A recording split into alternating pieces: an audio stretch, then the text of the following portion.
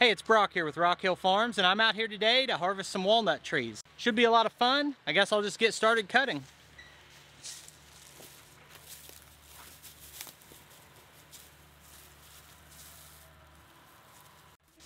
But not with this.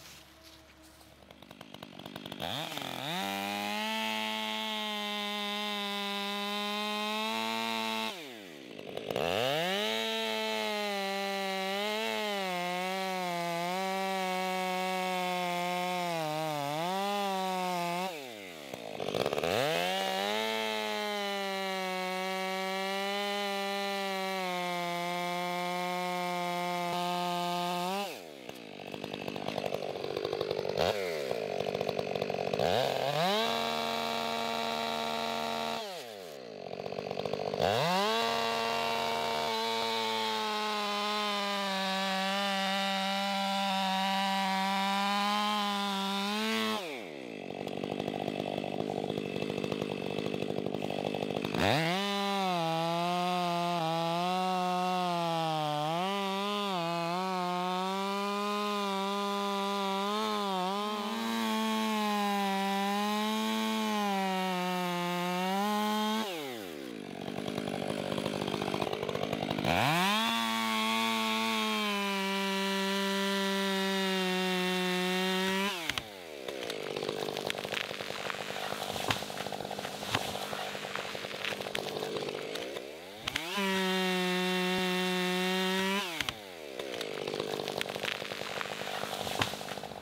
I love that walnut smell. Absolutely fantastic. I tried to cut this a lot lower than what I've been doing in the past and leave a trigger. Not exactly the way the loggers do it because I'm not a logger, but a little bit closer. And you know, any tree that lands where you want it to without anybody getting hurt, it's a good thing. Got the first one down. The one right next to it's bigger, but we'll get this out of the way first.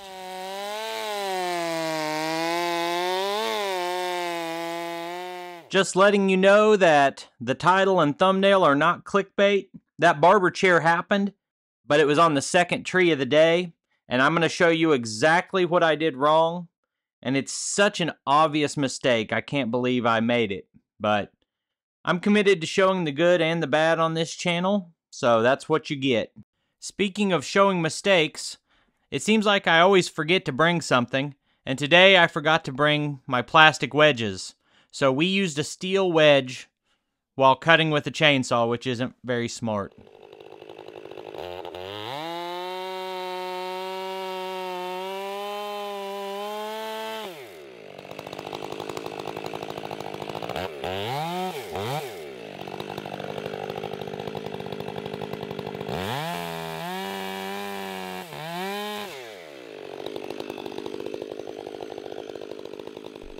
Big picture, I'm really excited to be out here working on this.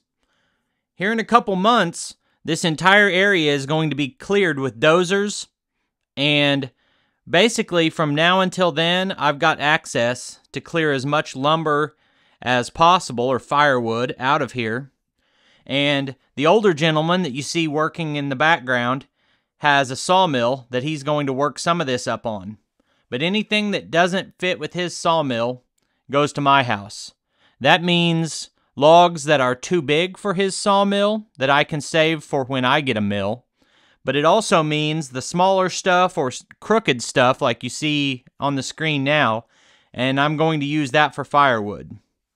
There are multiple species of tree out here, but there's a lot of walnut.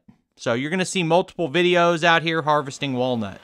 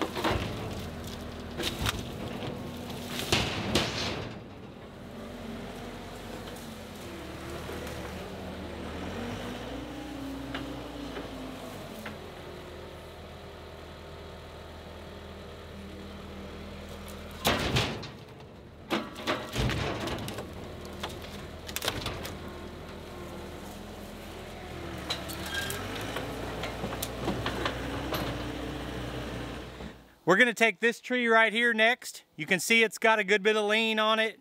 All of the weight is on the same side as the lean, but it seems like a healthy tree, so that's the best news. We'll see what the chips look like coming out of it. And there's a good chance, I don't think it'll necessarily get hung up, but it is going to hit some of these smaller trees. I'm hoping that it's got enough weight and momentum to come on down to the ground.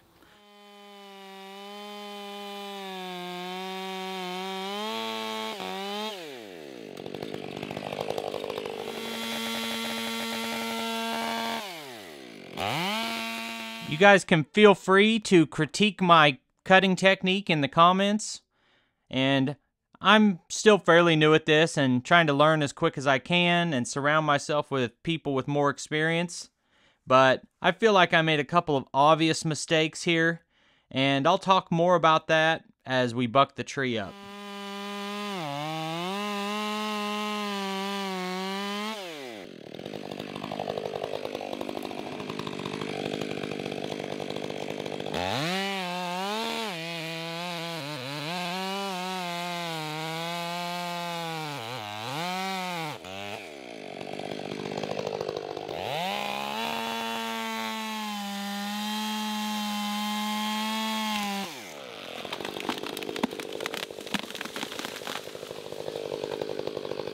Okay, the reason that happened is as I cut back to the trigger, I had left too much hinge. want to leave about an inch and a half to two inches and I left probably three inches of hinge and it's even thicker in the middle. So that was, a, that was the mistake there.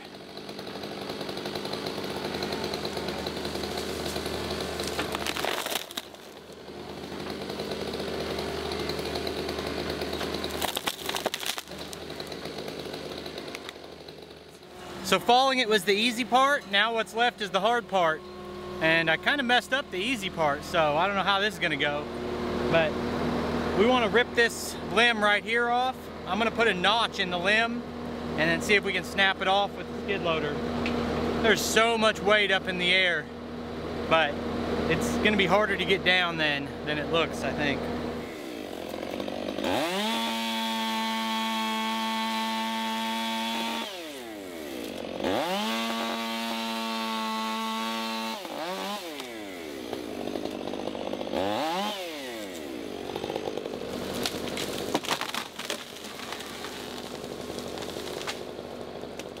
There's going to be a wide range of people who watch a video like this. Some will be loggers and tree felling experts, and some will have never cut a tree down. So I'm going to try to give a quick explanation for the people who know even less than I do.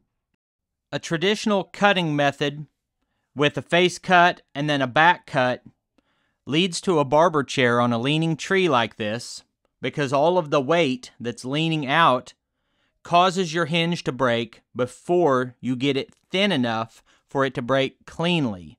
And that's when it breaks early and stretches all that fiber and does what you just saw. Now, the method I use prevents that by letting you set your hinge width before cutting the trigger on the back. But doing all of that is completely pointless if you don't get the hinge thin enough. And I knew that, and for whatever reason, I just didn't look closely enough or give enough thought to how thick my hinge was. Pretty obvious mistake, and I'm just lucky that no one got hurt.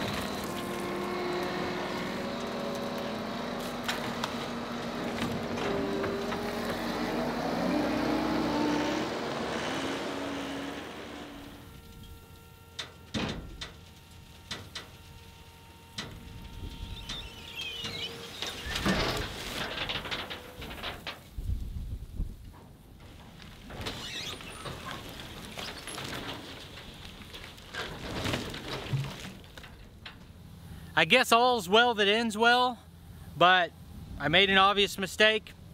I hope you guys can learn from it. I know that I did. I appreciate you taking time to watch the video.